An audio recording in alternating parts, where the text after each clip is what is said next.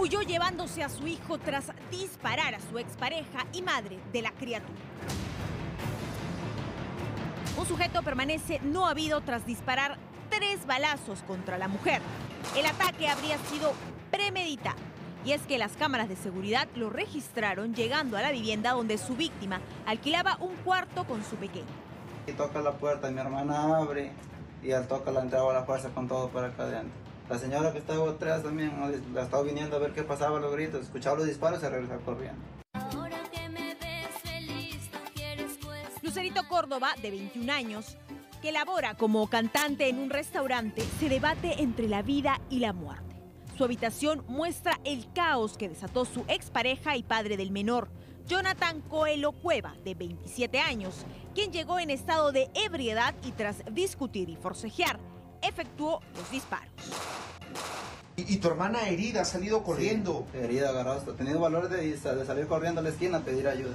Pero ya no, llegando a la esquina ahí nomás se desmayado. La desesperada madre se desplomó a causa de los impactos de bala.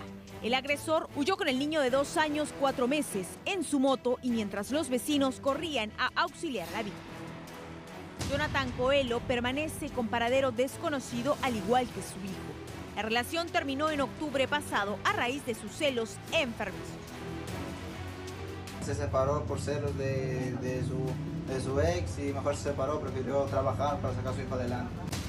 La familia de Lucerito requiere apoyo. La policía de Piura está tras los pasos de este sujeto por el grave delito de intento de feminicidio.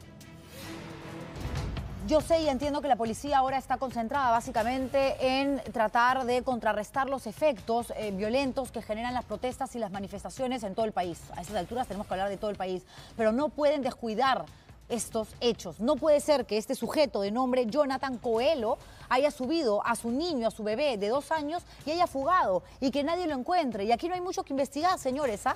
porque se le ve en el video ingresando a la casa, se escuchan los disparos, se ve a su expareja, la mamá de su criatura, herida de bala, corriendo, tratando de alcanzarlo para recuperar a su hijo. Y este tipo se va hasta que ella evidentemente se ve, las imágenes son clarísimas, se desvanece. ¿Se imaginan ustedes el dolor de esa madre, el dolor físico, ¿no? De haber sido herida por impacto de bala y el dolor emocional de que se están llevando a lo que más quiere que es tu hijo, tu hijo, este maldito se va con el pequeño de dos años, cuatro meses que tuvo con esta mujer, porque eso no es padre, un padre no separa a sus hijos de su madre, un padre no balea a la mamá de sus hijos, un padre no es un delincuente. Y este tipo lo es. Por favor, otra vez, el rostro de Jonathan Coelho. Yo estoy segura que teniendo la suerte de llegar a nivel nacional, alguien de pronto lo reconoce, huyó en moto, es mucho más fácil, obviamente, dar con su paradero. Las características del vehículo en el que se moviliza están en el video.